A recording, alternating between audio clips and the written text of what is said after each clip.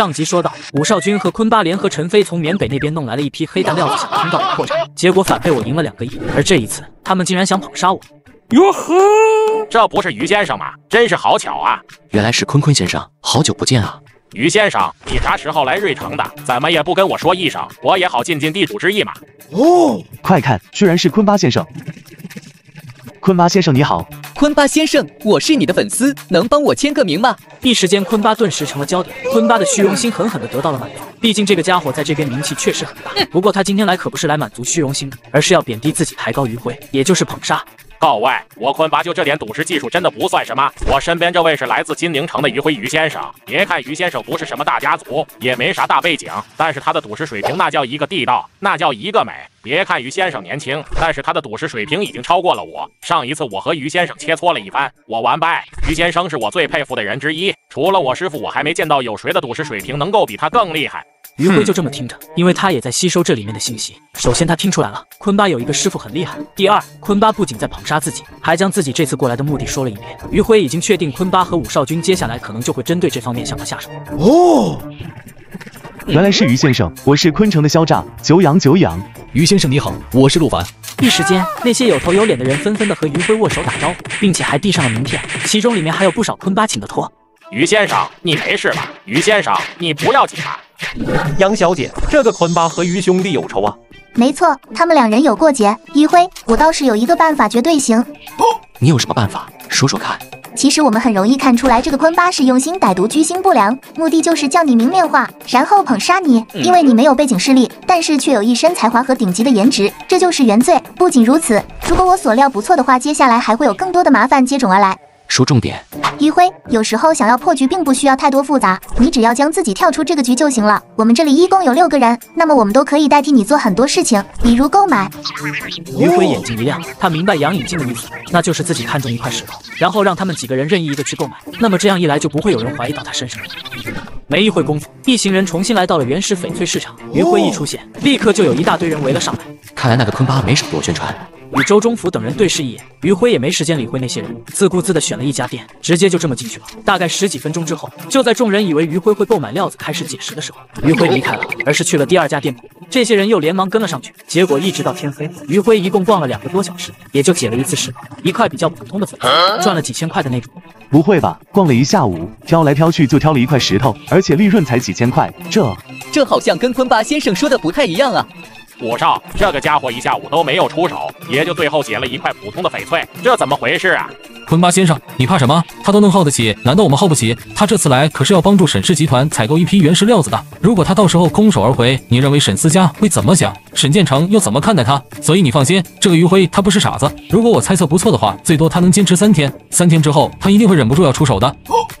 于兄弟，没看出来你也挺会演戏的吗？一下午晃晃悠悠就切了一块石头，而且还是普通货色。你没看到那一些人，他们跟了你一下午，结果到最后那种失落表情，我越看就越想笑。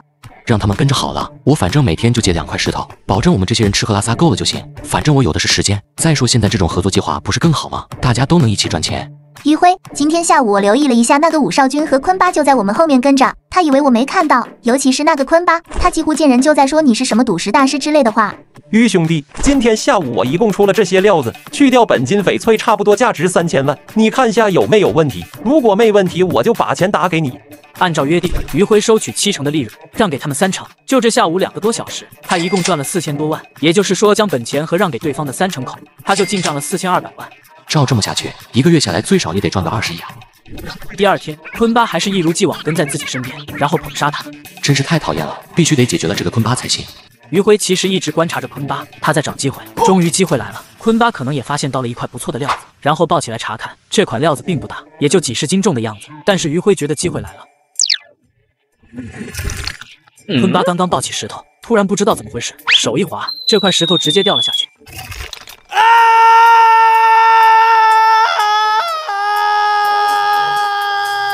我的脚啊！坤坤先生，你没事吧？快帮，快帮我拿开这块石头！此时的坤巴整个脚掌都被砸变形了，这只脚基本上废了。就算去医院治疗好了，恐怕以后走路也会变得一瘸一拐的。坤坤先生，一只脚而已，影响不大。你还有另一只脚，你放心，我现在就帮你叫救护车。余辉一边说着，一边拿起电话。其实哪用得着他打电话？这家原石店老板电话早就打过了。真是笑死我了！今天我终于明白搬起石头砸自己的脚是什么意思了。没想到这世上还真有这么蠢的人，可惜我忘了拍个视频发朋友圈了。你们先回去，我有点事先去处理一下。于是余辉就前往坤巴所在的医院，因为武少君肯定会去看望坤巴的。坤巴先生，这是怎么回事？你确定没有人害你，或者当时没有人推你，或者是别的？我确定没有，当时我身边没有人，可能是我分心了，再加上那块石头比较圆，所以一不小心没捧住才掉了下来。这只脚估计报废了。坤巴先生，没事的，现在医学这么发达，实在不行，过段时间我带你去京城治疗。再说脚有点残疾，影响不大。对了，你今天去哪了？电话一直打不通。武少君当然不可能告诉坤巴当时自己还在红浪呢。呃，我手机坏了，去修手机去了。对了，坤巴先生，你肚子饿不饿？我去给你弄点吃的。武少，你没事吧？嗯武少，你难道要？嗯气急败坏的武少君竟然动用底牌，找了缅北的人来绑架黄英跟方颖。小子，你胆子确实够大，如果不是上面交代，就凭你这胆识，我都愿意跟你交个朋友。于辉，你赶紧走，别管我们。这两个女人是你马子吧？你有没有兴趣看一场三人斗地主？小子，我们狗哥问你话呢，你他妈哑巴了！小子，原本是打算过几天再对付你的，本来只想着跟这两个小姐姐打打牌，等我们玩够了再放出去。不过你这个小子居然想英雄救美，别说我不给你机会。我们这里一共有四个人，你随便找一个人单挑，只要你打赢了其中一个，我就放一个女人离开。你如果打赢了两个，我就全部放走，如何？行，我打。余辉打算拖延时间，等警察赶过来。至于陈虎，正召集他的队友再赶来，但是这都需要时间。这四个人，余晖想对付并不难，但是问题就在于两个：第一，对方有枪；第二，没办法保证方雅和黄英的安全。所以余晖要示敌以弱，在这之间找到合适的时机，趁机先解决野狗，或者将他手中的枪可以夺过来。哼，小子，我来陪你玩玩。别打了，余晖，你快跑！住手！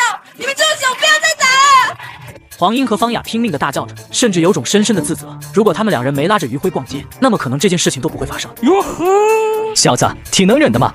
野狗看到余辉这个样子，顿时就放心了。他在武少君那里也证实过，这个余辉就是个普通人，并不会武功。现在看来确实如此。既然余辉不会武功，他也就不用担心什么，接下来就可以放心的戏耍。于是把枪收了起来，朝着余辉走去。于辉眼睛一眯，他等的就是这个机会。野狗怎么也没想到余辉会选择在这个时候发难，好在他战斗经验丰富，连忙侧身想要躲过。可是余辉他的眼睛是经过变异的，可以预判。你们特么还愣在那里干嘛？快给老子上啊！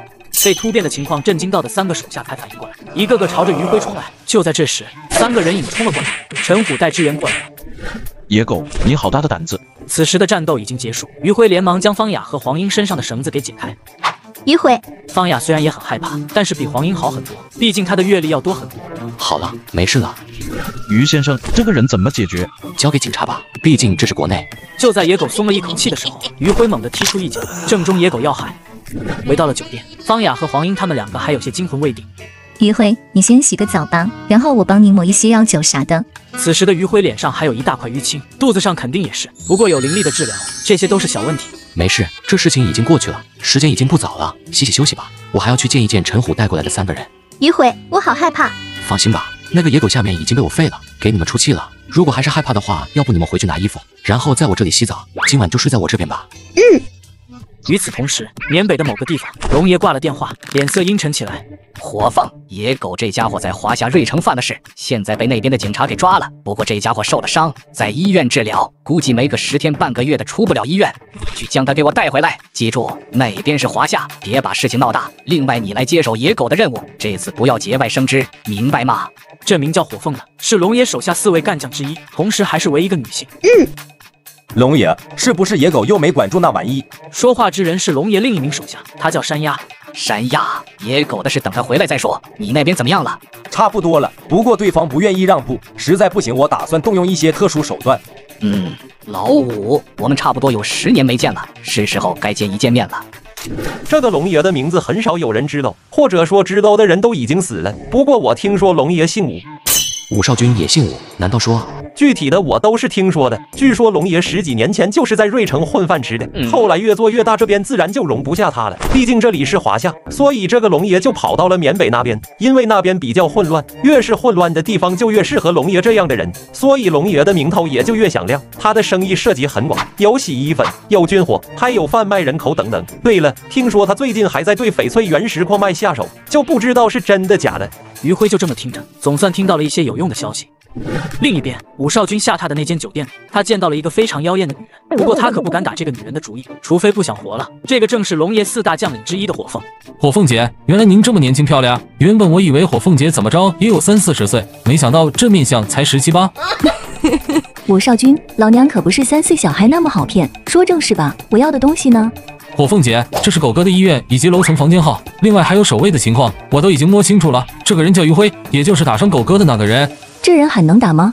不确定，因为到现在我都没办法和狗哥说说话。另外，昨天晚上这个余辉带了三四个手下过去了，有一个好像叫什么陈虎。这个余辉，你确定他是第一次来这边？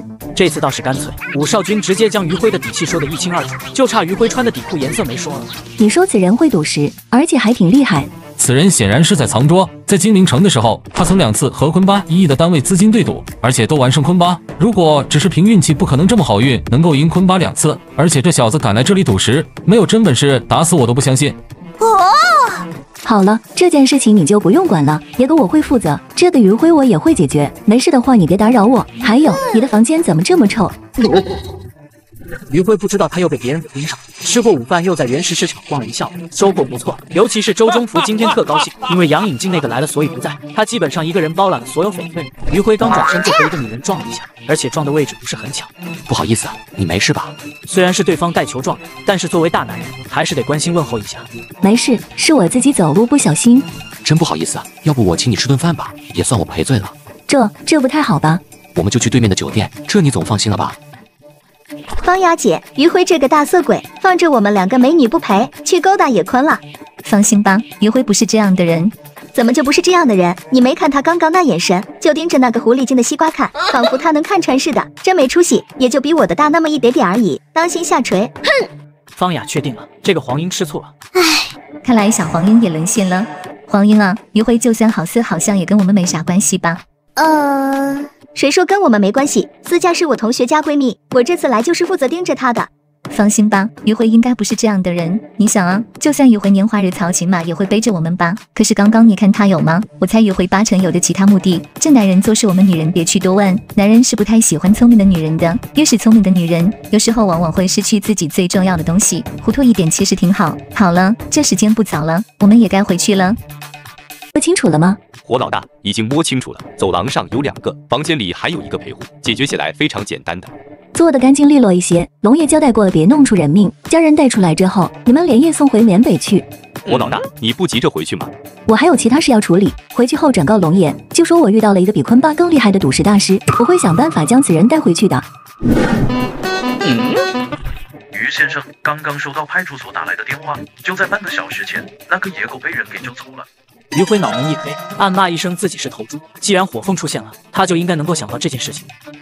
余先生，这个火凤是龙爷的四个得力干将之一。这个女人比野狗要难对付许多。野狗就是疯狗，敢打敢拼，一般都是冲在前面当炮灰的那种。但是这个火凤不一样，她比较适合暗杀。据说她浑身上下到处都是暗器，这次来还故意接近您，不用想都是来对付您的。要不要我们先下手为强，将她给咔嚓掉？你说的很对，她不但暗器多，凶器也挺厉害。这个女人暂时不要动，我相信这个女的接下来肯定还会主动找上我的，而且短时间内我不会有事的。这个火凤我还想利用一下，至于怎么利用我还没有想好，等我想好了再说。逛了一个多小时的翡翠市场后，杨颖静突然脸色有些煞白，还在冒着汗，所以余辉就把她送回了酒店。你没事吧？要不我送你去医院？没用的，每次都这样，已经十几年了，一般都是第一天痛的比较厉害，第二天就好多了。有时候我在想，要是不来这玩意该有多好。我可以让你十个月不来这个。杨颖静一愣，随即也反应过来了。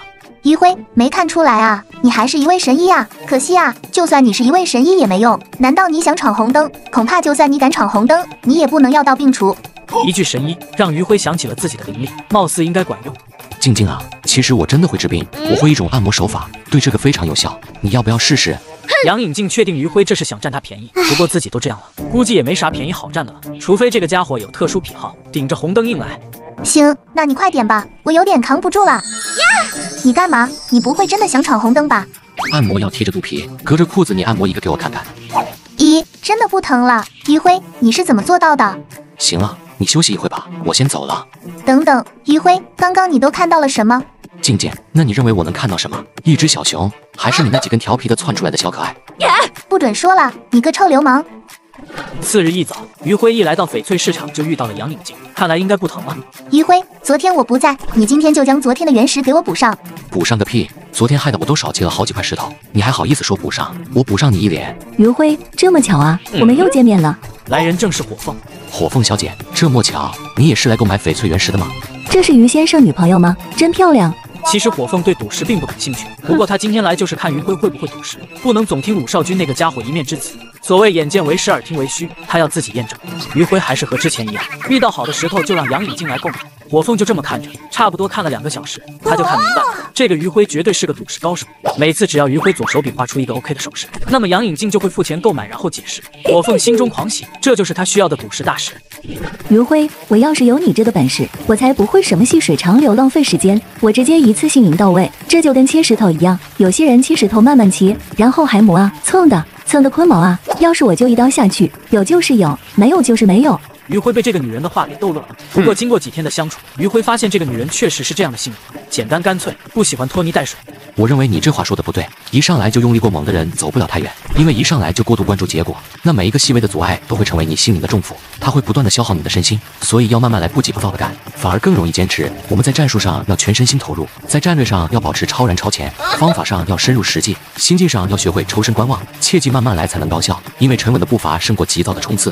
火凤就这么听着，感觉这话总有那么一点怪怪的，但是他又说不出个所以来。余辉，下午我们去干嘛？那是下午你干嘛，而不是我们干嘛？你看这外面的雨越下越大，除了睡觉还能干什么？如果你要是愿意带我去你住的房间，我倒是很乐意做一些我们都爱做的事情。哼，我凤敢确定余辉就是在调戏他，没看出来啊？看你长得斯斯文文的，没想到也不是什么好东西。我家在缅北，你要是有胆量就跟我回家，到时候随你怎样都行，如何？这只狐狸精终于露出尾巴了。没错，我凤说的很清楚了，他家在缅北，那么这意思就很明显了，也终于搞清楚这个女人为什么接近自己，就是为了骗自己去缅北。那么目的是什么呢？脑中出现了一些猜测，不过余辉决定先利用一下。真的吗？这可是你说的，到时候等我将这边的事情处理完了，我就跟你一起回去。先说好，到时候一定要随我。火凤心中一喜，余辉上钩了。至于余辉说的这些事情，无非就是在这边多赚一点钱，这完全没问题。再说火凤也不敢太急躁，到时候被对方看出破绽来就功亏一篑。他是一定要将余辉带回去。两人吃过午饭，余辉借故有事回到了酒店，他要将这件事情跟陈虎他们交代一下。正打算回房休息，就看到杨颖静坐电梯上来了。嗯，余辉，要不要来我这边坐坐？好啊，你有事。静静啊，我觉得你有 C 加，你说我猜的对不对啊？C 加 D 加的跟你又没关系，反正又不是你的。这个可说不定，孤男寡女的在一个房间，只要你给机会，我不就可以拥有了吗？余辉，你要是真敢这么做，我倒是觉得你像个爷们，不然就是光说不练假把式。呀，这家伙不会来真的吧？主要是今天被火凤搞得有些烦躁，原本他打算去找方雅的，结果杨颖竟送上门来了。余晖，别别这样，我还没准备好。First blood，是坤巴说的那个比他还厉害的赌石大师。张先生说笑了，我哪是什么大师？我和坤巴先生相识，而且关系还不错，所以坤巴先生故意抬举我罢了。我就说嘛，赌石哪有这么容易？没有个几十年的功夫，哪能成为大师？余辉看出来了，这个叫席美平的和周中福可能处于竞争关系，但是明面上两人的关系好像还挺不错的样子，不然也不会在一起吃饭。从这个饭局的气氛上看，火药味很重。周老板，你刚刚说让这位于先生大喝，这有点说不过去吧？我们两个可是一直在对饮，你现在让别人帮喝，好像有点欺负人呐。西总，我可喝不过你。别人都知道你是两斤白酒起步，我是半斤白酒归西。你让我对饮，你这是不是明摆着欺负我吗？行，这位于先生大喝也行。不过先说好，我要是赢了，新开的商业街那边的地盘归我，你就不准再开分店了。于辉听明白了，与其说是酒局，不如说是一个赌约。信，如果于兄弟输了，我周中福说话算话。我好像还没答应吧？不过问题不大，他进来的那一刻就已经做好了应对一切的准备。于是四瓶白酒就摆上了桌。席总对吧？我首先确认一下，这瓶白酒喝下去你不会有事吧？哼，通常说这句话的只有两种人，要么是装叉，要么就是真的很能喝。于先生，你这是看不起我们女人吗？席总别误会，主要现在国家对喝酒控制的有些严，听说有个什么叫连带责任的，我就怕您喝伤了身体啥的，我到时候不也跟着倒霉了吗？还真是第一次遇到这么能吹牛的人。于是二话不说，端起一杯酒，直接一饮而尽。席美平喝完，还将酒杯倒过来给余辉看了一下。于先生，该你了。余辉肯定不会一口一杯的喝，因为他要给对方一个下马威。于是他直接拿起一瓶白酒，身体开始运转灵气，像喝矿泉水一样。差不多一分多钟，一瓶白酒见了底。余辉喝完之后，示意席美平继续。席美平今天算是遇到个狠人了，让他对着一瓶白酒直接吹，肯定是做不到的。其他人更是用吃了屎的表情看着余辉。这酒要不是他们自己带过来的，甚至都要怀疑酒里面掺的是水了。席总，我觉得这样不公平。您之前已经喝了差不多半斤酒了，现在再喝一斤的话，就相当于是一斤半了。所以我觉得于先生应该多喝半斤，或者是席总少喝半斤。说话之人正是那个赌石顾问张二哈。张先生，不如这样，我跟你喝，我喝一斤，你喝半斤。我之前可是已经喝了一斤，这一瓶下去就等于两斤，怎么样？张二哈偷偷瞥了一眼席美平，当他看到席美平看向自己的时候，狗躯一震。自己喝醉了又如何？到时候这个余晖将这一斤喝下去，那么就能够给席美平创造机会。这样一来，席美平一高兴，肯定会对自己另眼相看，说不定还可以。哟 张先生不会不敢喝吧？哼，喝就喝。于是这个二哈打开一瓶白酒，眼睛一闭，直接一口喝了下去。可刚刚喝完就开始呕吐，顿时遭到了所有人的鄙视。我喝完了，该你。于兄弟，还是算了吧，别喝了。没事的，我真要喝起来自己都怕。于辉说完，直接端起酒就开始咕咚咕咚的喝了起来，然后体内的灵气一直在运转，正好将刚刚喝了酒给稀释掉了。爽！这哪是喝酒啊，分明是在喝水。此时的席美平一瓶白酒还剩下一杯没喝，而余辉已经喝了两瓶了，也就是说他其实已经输了。余先生厉害，我席美平心服口服。周老板，那条街归你了，我不会去开店了。席总，那我这次就胜之不武了。不过打赌就是打赌，我也不会矫情。席美平笑了笑，她现在对周忠福兴趣不大，她反而对这个余辉非常感兴趣。余辉先生，我们能加一下联系方式吗？说不定我们以后能有合作机会。可以。次日一早，余晖和以往一样来到了原石市场。火凤照常出现，直接过来挽住余晖的胳膊，根本没有在意黄英那种要喷火的眼神。周老板，喝酒我的确不行，不过这赌石嘛，我还真没服过谁。要不你让昨天那个什么余晖过来一趟，我们比划比划。原来是二哈先生，昨晚还好吧？哦，余先生，你来的正好，我想跟你比试一下，不知道你敢不敢？没兴趣。余先生，你不会怕了吧？二哈开始用起了激将法，至于席美平没有阻止，很显然他是想用这个二哈来摸摸余辉的底。还有火凤，火凤等了好几天，终于等到了这么一次机会。那你有多少钱？余辉，我们席总可是……你想跟我玩，那就得拿出你的资产。你若是没钱就直说，别妄想着借机下蛋，到时候赢了算你的，输了让别人买单。你这点小伎俩我看得太清楚了。二哈老脸一红，还别说，他就是这么个意思。但现在自己的小心思被别人揭穿了，二哈也不好不站出来表态了。哼，当然是我跟你来比，我这张卡里有三千万，赢的一方得到对方的翡翠和三千万，你敢不敢？席总，麻烦你做个见证人。席美平眼皮一跳，他看出了余辉的心思，这家伙要拉自己下水。行，我来做担保。那你的赌资呢？别说三千万，就是三个亿，我周中福也愿意给于兄弟担保。各位，今天中午我请客，大家都别拒绝哈。哼，我长这么大没见过这么嚣张的人。哎，今天你就见到了。十五分钟后，余辉挑了一块价值三十万的石头，而二哈挑了一块石头价值九十八万。这块石头个头很大，余辉看了一眼，这家伙运气竟然还不错，里面的翡翠差不多值个五百万左右。余辉，赌约说的很清楚，石头只买一块，你买个这么小的，到时候可别后悔。谁后悔还说不定呢。随着切割机开始转动，二哈很小心的开始，因为他现在也算是赌身家，差不多用了半个多小时。哦，绿了，出绿了，看这颜色，这绝对是大涨。怎么样？就这一刀下去，十年的功力，你顶得住吗？看着连线都不画，直接切的余辉，二哈随即露出嘲讽：哈哈哈！就你这业余的水平还敢赌石，也不怕别人笑掉大牙？绿了，又出绿了，好浓郁的料子，不会是帝王绿吧？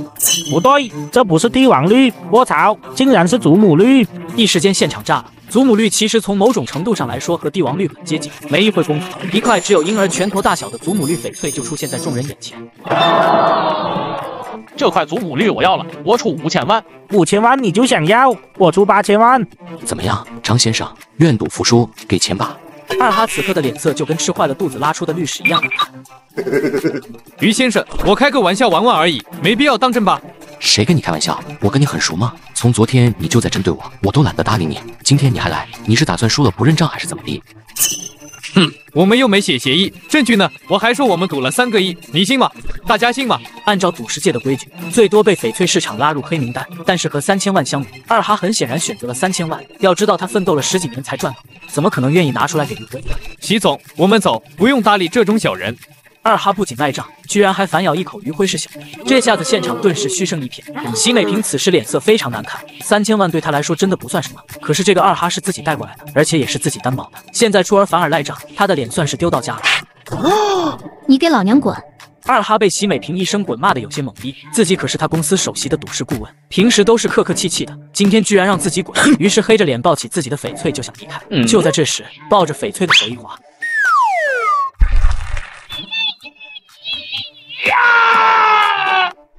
我们走吧，三千万加一块翡翠而已，我还不看在眼里。于先生，请稍等。其实我跟这个二哈不熟，不过既然之前我已经答应了作为担保，那么肯定要愿赌服输的。这是四千万支票，也算是我们输的赌资了。那我就不客气了。既然习总大气，那我也不能不表示一下。这样吧，我帮你挑一块石头，能回本多少就看你自己的了。席美萍眼睛一亮，她赌对了。火凤就一直在边上看，此时他的眼中全都是小星星。余辉绝对是赌石大师，用武少君的话说，绝对比坤巴厉害。